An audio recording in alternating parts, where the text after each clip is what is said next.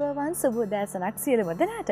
ඉතින් අද දවසේදීත් අපි උත්තර හෝරාව සිතුවෙන නිම්නේ විශේෂාන්ගය තුළින් තමයි එකතු වෙලා ඉනේ.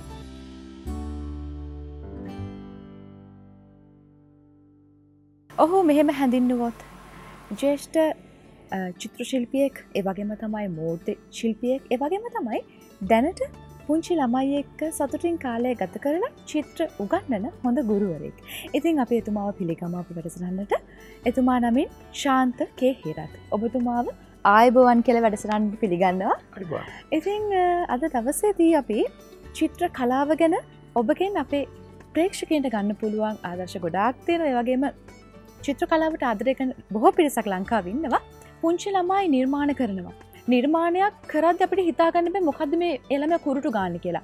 ඉතින් ඔබ දකින විදිහට මේ පුංචි ළමයි එයාලගේ මනසින් එයාලගේ දෑත්වලින් මොකක්ද මේ මවන රටාව. පුංචි ළමයෙක් කියන්නේ වැඩිහිටියෙක් නෙවෙයි. පුංචි ළමයෙක් කියන්නේ දැනුපෙන් අපිරිසිදු වෙච්චි ළමයකුත් නෙවෙයි. ඔහු නැවුම් ඔවුන් නින්දහස් ඒවගේ මොහු බොහොම සුන්දර විචිත්‍ර දේවල් දකින්න අහන්න විඳින්න කැමති දරුවෙක්. සමහරට මේ පුංචි දරුවෙකුට ඔහුට අවශ්‍යදේ ඕගේ අම්මා සමඟ හෙමනත්තං ඔහුගේ වටාපිටාව ඉන්න අය සමඟ කතා බහ කරන්න ඔහුට අවශ්‍ය කරන දේ නැති වෙන්න පුළුවන්. සමටයට වචන කතා කරන්න දන්න නැති වෙන්න පුළුව නමුත් ඔහුට තියෙනවා ඔහු තුළ ශක්තියක් තියෙන ඔහුගේ හැඟීම් ප්‍රකාශ කරන්න. එකක් ඔහුට පුළුවන් අඩන් ඔහුට පුළුවන් හිනාවෙන් ඔහුට පුළුවන් විවිධ අභිනයන්ගෙන් යම් යම් අදහස් ප්‍රකාශ කරන්න. ඔහුට පුළුවන් යම් යම් රූප මගින් සටහන් මගින් කුරුටුගෑම් මගින් තමුන්ගේ අදහස් ප්‍රකාශ කරන්න. මේ කොටස් ටිකම එකතු වෙන්නේ කලාවට සෞන්දර්ය විෂයට. ඒ සෞන්දර්ය විෂයේ අර කුරුටුගාන බලික අඳින එක රිජුවම සම්බන්ධ වෙනවා. ඒත් එක්කම අර අභිනයක් ඔහු නාට්‍ය ශිල්පයේ කොටස් ඉගෙනගෙන ඇවිල්ල නෑ නමුත් ඔහු උපතින්ම ගෙනාපු ඒ අභිනයන් හරා අපිට යමක් කියනවා. ඔහු සංගීතය ඉගෙනගෙන ඇවිල්ල නෑ ඔහු සතුටට ආණ්ඩන වේදනාවට ආණ්ඩන බඩගින්නට ආණ්ඩන ඒ ඇඩීම හරහා අපි තේරුම් ගන්නව මෙයා අඩන්නේ සතුටටද මෙයා අඩන්න විරෝධයක් පාන්නද? ඒක අපේ කලාවේ සංගීතය නර්තනය ඒ දේවලට අයිති කොටසක්. ඒකෙම කොටසක් තමයි ඔහු අඳින දේව ඔහු අඳින්න අතට අහු වෙන දේකි එතකොට ඒක ප්‍රකාශනයේ මනුෂ්‍යයාගේ තියෙන ප්‍රකාශන හැකියාවන්ගේ මේ ආරම්භය පටන් ගන්න මෙතන. නමුත් අවාසනාව මේ ආරම්භ කරන සෞන්දර්ය විෂය ටික අපි වැඩිහිටියෝ වෙනකොට එහමනත්තන් ළමයෙක් මෝරා යනකොට ඔහුගෙන් ඈත් කරලා කුණු කූඩට යවන සුරූපයක් තමයි අපේ සමාජය දකින්න පියෙන්. ළමයා ඉක්මෝල වැඩිහිටිය වුණ හමත් ඒව තමුන්ගේ ජීවිතයට අවශ්‍ය නෑ කියල්. ඒව නිකං එතරම් ගණන් නොගන්නා එතරන් ජීවිතයට වැදගත් නැති දේවල් විදිහට අයින් කරන බවක් පේනවා. ඒ නිසා මේ සාකච්ඡාව වැදගත් වෙන්න පුළුව දැන් ඔබ තුමාළඟ තියෙනවා චිත්‍රයක් මට පේන විදිහට. මේකෙන් ඇත්තරම මම දකින විදිහට නම් ඇත්තට මට කිසිමදක් තේරුම් ගන්න බෑ ඇත්තටම කිව එවනට ඔබතුමාට තේරුම් ගන්න පුළුවන් ඒ චිත්‍රය යම්කිසි මොකක් හරි රටාවක් නැවිලා තියෙනවා කියන එක. ඒකන චුට්ටක් පැදිලි කර දැන් ඔබතුමිය කිව්වා තේරුම් ගන්න පුළුවන් කියන වචනය. චිත්‍රය තේරුම් ගන්න අවශ්‍ය නෑ. චිත්‍රය රස විඳින්න ඕ. ඒක තමයි මම කියන පලවෙනින්ම කතන්දරේ. තේරුම් ගන්න ගියොත් අපි පටලවෙන. අපි අමාරු වැටෙන අපි තේරුම් ගන්නේ අපේ දැනුම් ලෝකය හරහා. ඔබේ දැනුම වෙනස් මගේ දැනුම වෙනස් තව කෙනෙකුගේ දැනුම වෙනස් වෙන්න පුළුවන්. එතකොට මේ නිර්මාණය කරපු කෙනාගේ දැනුම වෙනස් වෙන්නත් පුළුව. එතට දැනුම ඔස්සේ මේක තක්සේරු කරන එක තමයි මගේ නම් වචනය තක්සේරු කරනවට වඩා අනේකා කරලා තියෙන්නේ මොකක්ද ඇයි මෙහෙම කරලා තියෙන් මොකක්ද මෙයා මේකෙන් කරලා තියෙන්නේ කියන දේවල් ඔස්සේ අපි රසවිඳින්න උත්සාහකරුත්.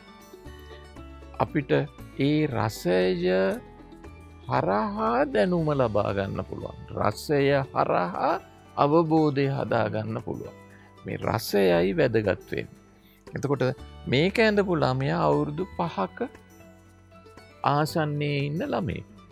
එතකොට ඔහු චිත්‍රය අඳින්න ගත්ත හම ඔහුට කිසිම බලපෑමක් කරන්න නැතුව ඔහුට ලොකු කොලයක් පාට ටිකක් දීලා ඔහුගේ හැකියාව පිළිබඳ විශ්වාසය ඔහුට තහවුරු කරලා ඔහු කරන දේ පිළිබඳව අපේ අගෙයිම ඔහුට එකතු කරපු හම ඔහු ඔහුත් රස විඳිමින් ඔහු දන්නාදේ මේක සටහන් කරන.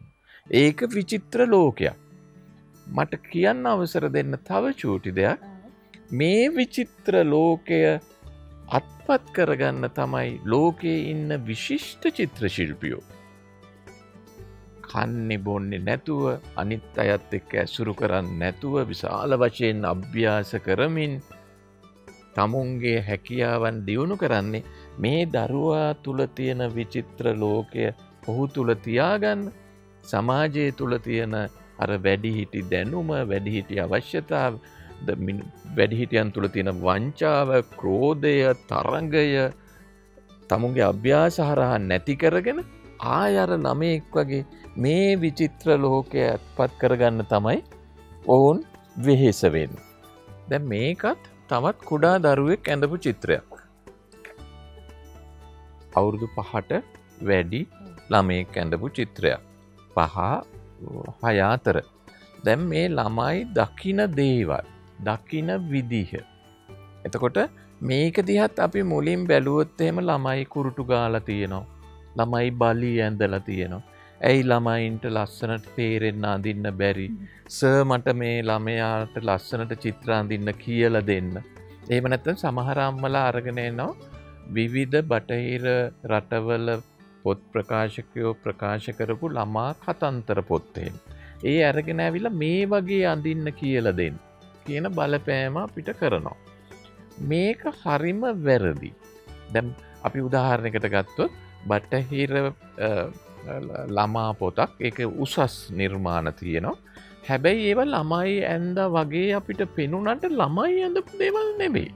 ළමයා වෙනුවෙන් වැඩිහිටියෝ ඇඳපු චිත්‍ර. දැන් අපේ ලංකාවේ මේ පිළිබඳ සංකල්පය තියෙන්නේ ළමයෙක් වගේ අඳින ළමයෙක් වගේ වැඩිහිටියෙක් අඳින චිත්‍රය ළමා චිත්‍ර කර නෑ. ළමයි අඳින චිත්‍රය වෙනයි ළමයින් සඳහා වැඩිහිටියෝ අඳින චිත්‍රය වෙනයි. දැන් මේ චිත්‍රයේ අපි හොඳට නිරීක්ෂණය කරොත් අපිට අලියෙක්ගේ හැඩරුව එහෙම පේනවා. දැන් අලියෙක්ගේ හැඩරුවක් නම් පේනවා එතකොට අලියෙක්ගේ වර්ණ මෙතන නෑ. අපි ඒකට කලබල වෙන්න ඕන්නෑ. අපි ඒ ළමයගේ ඇඳීමේ හැකියාව ඇඳීමේ ඔහු ලබන ආස්වාදයට අපි උදව් කරන එකයි කරන්න ඕ. අපි කරන්න යන්න නරකයි ළමයට මෙන්න මේ විදිහටයි කරන්න ඕන අහවලා ඇඳපු චිත්‍රයේ වගේවත් අඳින්න ඕන ද මේ චිත්‍රය අපි උදාහරණකට ගම අලියෙක් මෙහෙම නෙමේ අලියගේ නහය මෙහෙම නෙවෙයි කියල අරක ඇඳල පෙන්න්නනවා. එතකොට අර ළමයට ඇතිවෙන වේදනාව කොහොමද කියන එක ඔබ මනසින් දැන් කල්පනා කරන්න. ඒ ළමය සමහරිට නැවත ජීවිතයට චිත්‍රාන්දින් නැති තීන්දුවකට එන්න පුළුව. හැබැයි අපි ඒ ළමයා කරපු වැඩේ ලස්සනයි ඒක තියෙන නිර්මාණාත්මකම අපි රසවිඳලා ඒ අගය කරලා ඒ ළමයට තවදුරටත් ඒ තමුන් කරගෙන යන කාරණාව කරගෙන යන්න ඉඩ දුන්නොත් සහයෝගය දුන්නොත් ඔහු ලෝකයේ ඉන්න විශිෂ්ටම චිත්‍රශිල්පියා වෙන්න පුළුවන්. සමහර විට ඔහු චිත්‍රශිල්පියෙක් නොවනත් ඔහු වෙනත් ඔබ සතුටු අර ඔබ අපේක්ෂා කරන මහා ලොක්කෙක් මහා ප්‍රබලෙක් මහා ධනවතෙක් වෙන වෘතියක් තෝරගත්තත් ඒ ඒ වෘතිය තුළ යහපත් මනුෂ්‍යයෙක් වෙන්න ඕන කරන සංවේදීකම මේ විෂය හරහා ඇති වෙනවා. ඔහුට දකින්න තර්ක කරන්න යමක් තර්ක කරලා ප්‍රතික්ෂේප කරන්න මෙතෙන්ට මේක නොගැලපෙනවනං මෙතෙන්ට ගැලපෙන දෙයක් යෝජනා කරන්න තරං ශක්තියක් තර්කණයක් හැකියාවක් මේ විෂයන් කුඩා කාලයේ ඉඳලම පරිහරණය කරලා ඒක පාවිච්චි කරන්න ඔහුට නිදහස දුන්නෝ. ඔහු අතින් ඒක සිදුවෙනවා. එහෙම නැත්තං වෙන්නේ මහදැන්න මුත්තයි ගෝලයොරොත්තයි ගැන අපිට කියල සාහිත්‍යය කියල දෙන කතාව වගේ අපේ අධ්‍යාපනයෙන් කරනව වගේ සිලබස් එක එමනැත්තන් අර පොතේ ලියල තියෙන්නේ මොකක්ද කියන එක හොයලා මේකට දීල තියෙන උත්තරේ මේකයි ඒ උත්තරේ තමයි මේක ගැලපෙන්න කියලා කිව්වොත් අපේ ලෝකෙ එතනින් එහාට යන්න. එතනින් එහාට හිතන්න. මේක අපේ වැඩිහිටියන් වගේම අම්මල තාත්තල වගේම අපේ රටේ අධ්‍යාපනක්ඥොත් ටිකක් හිතුවොත් හොඳයි. මොකද අපි ඉන්න දැන් අලුත් ලෝකෙක. මේ ලෝකෙ අපි වෙනස් කරන්න ඕන කියලා අපි හිතනවන වෙනස් වෙන්න ඕනයි කියලා හිතනවන ඒ වෙනස්වීම සඳහා සූදානන් කරන විෂය තමයි සෞන්දර්ය විශේෂයෙන් චිත්‍රය ඒවගේම අපි ඔබතුමාගෙන් දැනගන්න කැමති දැන්. ඒ වගේ නිර්මාණශීලී ළමයින්ගෙන් ඒ වගේ කුසලතා ඔපනංවා ගැනීමට වැඩිහිටියෝ වශයෙන් අපි මොනාද කරන්න ඕනේ සහ අපි අතින් සිදුවන වැරදි මොනෝද ඕ අපි අතින් සිදුවෙන වැරදි බොහෝයි. අපි මේ ගැන සරලව හිතන්න ඕන මේ වැරදිවෙන්න හේතුව මොකල් ඒ හේතුව අපි විසඳාගන්නේ කොහොමද? අපිට බැරිද මේ වෙනස කරන්නේ? ඒ බාධ වෙන බාධක ටික ඉවත් කරගන්න මේ ගැන අපි අතර සංවාදයක් ගොඩනගා ගන්නවා. අපි ලබන අධ්‍යාපනය හරහා අලුතෙන් හිතන් දැන් උදාහරණයකට චිත්‍රය ගැන හිතුව. අපි හැමෝම නිර්මාණ ශිල්පියෝ විය යුතුද. අපි නිර්මාණ ශිල්පය දියුණු කරගනිමින් අපි තෝරාගන්නා ඒ නිර්මාණ ලෝකය හරහා තව කෙනෙකු නිර්මාණය ගැන්න එහෙමනි තව කෙනෙකු නොකරන ආකාරය දෙයක් අපිට කරන්න බැරිද. ඔබ පරාජය කරන්න ඔබ යන්න මගේ ඒ විදිහටම අපි ආයුතුද. චිත්‍රය හරහා අපි හිතන්න ඕන ඒක අම්ම තාත්ත හිතන්න ඕන ඒක දරුවන්ට හිතන්න පොළඹුවන්න ඕන ඒක අපේ අධ්‍යාපනය සකස් කරන්න ඕන ඒක දෙකයි දෙකයි හතරයි කියන එක ලෝකෙ කොතන ගියත් හතරයි. හැබැයි වර්ණවලදී නිලොයි කහයි එකතු කරපුහම කොළපාට හැතුනට අරකේ අපි එකතු කරන ප්‍රතිශතයට අනුව ලාවර්ණයක් තදවර්ණයක් වෙනත් ඒ වර්ණය තුළ ඇති වෙන වෙනත් වර්ණ හැදෙනවා. ඒ වගේ මේක තුළ ජීවිතය තුළ අපි අලුත් දේවල් නිර්මාණය කරන්න පුළුවන් පසුබිමක් හදාගන්න ඕන දැන් චිත්‍ර ශිල්පය තුළ හැදුනොත් මම දකිනා තරමට අපේ සමාජය තුළ අද චිත්‍ර ශිල්පයක්යවත් ඔහු නිර්ම චිත්‍රාන්දින්නවා. ඔහු චිත්‍රාන්දිනවා කියන්නේ පේන්ටින් එකක් තමයි අපේ අය දන්න තරම. ගැලරිය එකක ගිහිල්ල එක්සිබිෂන් එකක් කරන්න පුළුවන් පේන්ටින් එකක් විතර. ඇයි අපිට බැරි. ඇයි අපිට බැරි මේ විෂය ඇතුළෙම චිත්‍රය ඇතුළෙම වෙනත් දෙයකට විශේෂඥ දැනුම මේ චිත්‍රය හරහා එන විශේෂඥ දැනුම පාවිච්චි කරන්න. ඇයි අපිට බැරි ඉතා නිවැරදි වර්ණ අලුත් වර්ණ හදන්නේ කොහොමද. මේ කියල වෙනත් පැත්තකට මේක යොමු කරන්න. දැන් මූර්තියක් හදනවන නිර්මාණශීලී මූර්තියක් හදන කෙනාට ගෞරවය දෙමින්. එහි තියෙන නිර්මාණශීලීත්වය වැඩිදියුණු කර ගැනීමට ඔහුට ශක්තිය දෙමින්. මට එවැනි නිර්මාණශීලීත්වයක් නෑ නමුත් මට හොඳ රසයක් තියෙනවා ඒ නිසා ඔහුට මේ මැටි ටික නිර්මාණය කිරීම සඳහා වුවමනා කරන මැටිටික සකස් කරගන්න පහසුවෙන් සකස් කරගන්න විශේෂක්ඥෙක් බවට පත්වන්නේ බැරිදි ඇයි. මේ මැටිටික හරහා නිර්මාණ ශිල්පියා නිර්මාණයක් කරනකොට ඇයි තව කෙනෙකුට බැරි. ඒ නිර්මාණය මැට් ටෙම්ම ටෙරා කොටා වෙන්න ඕනද එහෙම නැත්තම් මේක වෙනත් අමුද්‍රව්‍යයකින් සෙරමික් හරි එමනැත්තං යකඩ හෝ වෙනත් මාධ්‍යයකට මේක යොදා ගැනීම සුදුසුයි කියන එකේ ප්‍රවීණත්වයක් දරණ කෙනෙක් වෙන්න බැරි. තව කෙනෙකුට බැරි ඇයි මේක ඉතිහාසය හොයලා. මේක ජාත්‍යන්තර තත්ත්වය ගැන හොයලා. මේ ගැන සාකච්ඡා කරන්න මේ ගැන ලියන්න මේ ගැන විචාර කරන්න මේ ගැන රස විඳින කෙනෙක් අපිට නිර්මාණය කරගන්න බැරිවෙල තියෙන්නේ ඇයි. මේ කියන හැම දෙයක්ම අප රටේ නෑ. අපි රටේ හොඳ විචාරකයෝ නෑ. අපේ රටේ සෞන්දර්ය විශ්වවිද්‍යාලය තියෙනවා. හරි? නමුත් කෝ අපිට විචාරකය අපි බනිනවා විතරයි. බනින එක විචාරය නෙවෙයි. කෝ අපිට හොඳ රසවින්දකයෝ හොඳ රසවින්දකයෝ නැතුව රසවිඳින්න පුළුවන් අය නැතු කෝ කොහොමද මේක අපේ වෘත්තීය තලයකට අපි ගෙනියන් ඔබතුමාගේ මම මේ වගේ ප්‍රශ්නයක් අහන්න. දැන් චිත්‍ර කලාව හදාරන්න ඇති ළමයි ඉන්නවන මේ ලෝක ඕන තරම්. එතකොට එයාලා ගනිත විශයට දක්ෂ වෙන්න පුළුවන් එතකොට සංගීතයට දක්ෂ වෙන්න පුළුවන් නර්තනයට දක්ෂ වෙන්න පුළුවන්. එතකොට කෙනෙක් ක්‍රීඩාවලට දක්ෂ වෙන්න පුළුවන්. ඒ වගේ කෙනෙක් චිත්‍ර කලාව හැදැරුවට පස්සේ එයාලට මොන වගේ ප්‍රතිලාබැද තියෙන අනාගතයේදී?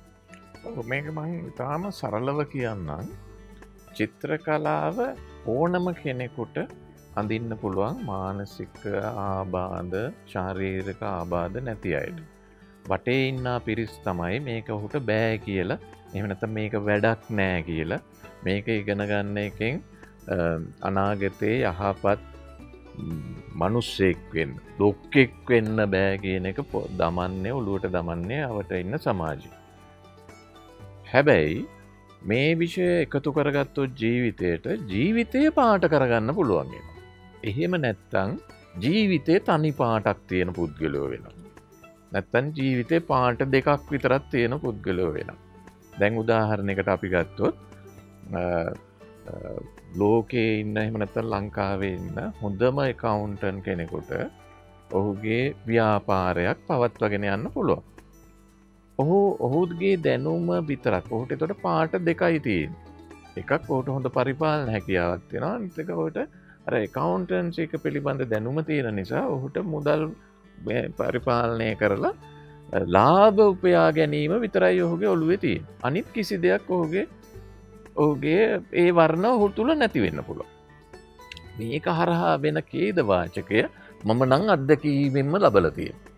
එතකොට ඔහු දන්නාදේ ඔහුගේ ව්‍යාපාරය ඇතුළේ ඔහු නොදන්නා විෂයන් වලට ඔහු බලපෑම් කරන්න ගියොත් ඒ බලපෑම් හරහ ඔහුගේ සම්පූර්ණ ව්‍යාපාරය කඩා හැලෙන්න්න පුළුව. එහෙම වෙලා තියෙන තැන්තිය. එහෙම නැත්තා ඒ ඒ කොතනකහරි රැඳිලා ඉන්න තැනින් ඔබ්බට දියුණු නොවෙන්න පුළුව. ඔහුගේ යටතේ ඉන්න හැමෝම අර වර්ණ දෙකේ දැනුම ඇතුළ හිරවෙන්න පුළුව. නමුත් වර්ණ දෙකකට එහාගිය විචිත්‍ර වර්ණ රැසක් තියෙනවා. ඒක රසවින්දන කෙනෙක් නම්. අනිත් අනිත් කෙනාගේ මතය ඉවසන්න පුළුවන් කෙනෙක් නම්. තමුන්ට බැරිදේ අනිත් කෙනා කරන එක රසවිඳින්න පුළුවන්න. මට බැරිදේ අනිත් කෙනා කරනකොට ඒකට උදව් කරන්න පුළුවන්නම් ඔහු කරන ඒ වෙනස් දෙය අගයන්න මට පුළුවන්න. එයින් මට ප්‍රයෝජනයක් වෙන විදිහට ඒක සකස් කරගන්න පුළුවන්න. එයින් ඒ නිර්මාණය අලුත් කරන කෙනාට පමණක් නොවේ මට පමණක් නොවේ විෂයට පමණක් නොවේ එයින් සමාජයටත් යමක් කරන්න පුළුවන්න. එයින් ඇතිවෙන වර්ණ ගුඩා විචිත්‍රත්වය. ඒක රසවිඳින අය ඒකෙන් තවත් වෙනස් අය බවට පත්වෙනවා. මේකයි මේ චිත්‍ර කලාව හැදෑරීමෙන් සිද්ධවෙන්. අනිත් එක තමයි දැන් චිත්‍ර කලාව ඉගෙන ගන්නකොට ඔබයි මායි හිතන පතන වෙදි වෙනස් නිසා. ඔබ හිතන එක වෙනස්. ඒ වෙනස පිළිබඳ ඔබට විශ්වාසයක් ඇති වෙන. ඒ විශ්වාසය ඇතුවනාම අනිත් කෙනා අනුකරණය කරන්න යන්නේ. අනිත් කෙනා මොනා කරත් මේක මම දන්න හොඳමදේ මේ හොඳම දේ මට මගේ නිර්මාණය විදිහට පාවිච්චි කරන්න පුළුව. එතකොට ඒ ඔබ එහෙම හිතන ගමන් මම හිතනවා අරයා මගේ මිත්‍රයා කරනදේ ඔහු දන්න තරමින් හොඳමදේ. නමුත් ඒක මට හොඳම දේ නෙවී. මම මම දන්න හොඳම දේ කරන. හැබැයි මම ඔබ එක්ක තරගයක් ඇති කරගන්නෙත් නෑ මම ඔබ කරන දේ හැල්ලු කරන්නෙත් නෑ. ඒකත් මම රස විදිනවා එකට ගෞරව කරනවා ඔබට උදව් කරනවා හැබැයි මම කියන්නේ වෙනස් මගේ පෞරුෂත්වය වෙනස් මම මගේ පෞරුෂත්වය ගොඩ නගාගන්න. එතකොට මේ දෙකෙන්ම වෙනස් ලෝකයක් බිහිවෙන. එහෙම නැත්තං ඔබ කරන දේ මම කොපි කරලා ඔබ කරන දේ අනුකරණය කරලා ඔබව පැරද්දීම සඳහා ඒකේ දැන් මේක වෙළඳ බාණ්ඩයක් නිෂ්පාදනය කරන ඔබට වැඩි අඩුවෙන් මමාරක මිල කරලා විකුණන්න කියාපුහම ඔබේ නිෂ්පාදනයක් කඩා වැටනෝ මම ආරක අඩුවෙන් විකිනීම සඳහා බාණ්ඩේ බාල කරපුහම බාණ්ඩේ මිලත් අඩුවෙන්. මේවා ගැන හිතන්න තර්ක කරන්න රසවිදින්න පුළුවන් වෙන්නේ චිත්‍රය වගේ සෞන්දර්යාත්මක රසවිදින විෂයක් තිබුණහම මේක මේවා ගැන හිතල තමයි අතීතයේ අධ්‍යාපනඥයෝ මේ විෂයන් ඔක්කොම අපේ විෂයධාරාවල් වලට එකතු කරලා තිය. එතකොට මම දන්නා තරමින් ඉස්සර විදේශ සේවා තානාපති සේවාවකට යනකොට මම අහල තියෙනවා රටේ සංස්කෘතිය ගැන රටේ අධ්‍යාපන ක්‍රමය ගැන කලාවල් ගැන මේවා ගැනත් දැනුම් තේරුන් ඇති පුළුල් මිනිසුන් තමයි ඒවට යවන්න කියලා. එතකොට මේ රට පිළිබඳව වෙනත් රටක තානාපතිවරයෙක් විදියට ගියාපුහාම පුළුල් දැක්මක් පුළුල් දැනුමක් අර රටවල් වලට එකතු කරනවා කියල්. එයින් අපේ තියෙන සුවිශේෂකං වැඩි දියුණු වෙනවා. අද එවැනි තත්ත්වයක් තියෙනවද කියන එක ගැන මට ප්‍රශ්නාර්ථයක් තියෙන ඔබත් මේ ගැන හිතාම්. ඔව ඒ විදිහටේ කතා බහ අදට අවසාන කරන්න සූදානම් වෙන්නේ ඔබ මදකට සිතා බලන්න පුංචි ළමයින්ගේ නිර්මාණ ශීලිත්වය කොහොමද මේ ලෝකෙට ඉතාමත් රසවත් විදිහට එලියට දෙන්න කියලා. ඉතිං ලබන සතියත් හමුවනතුරු ඔබට බෙහෙවින් ස්තුතිවන්ත වෙනවා අපේ වැඩසටහනත් එක සම්බන්ධනට ඔබට ආයිබුවන් කියල සමුදෙනවා ඔබට සුප සතියක්.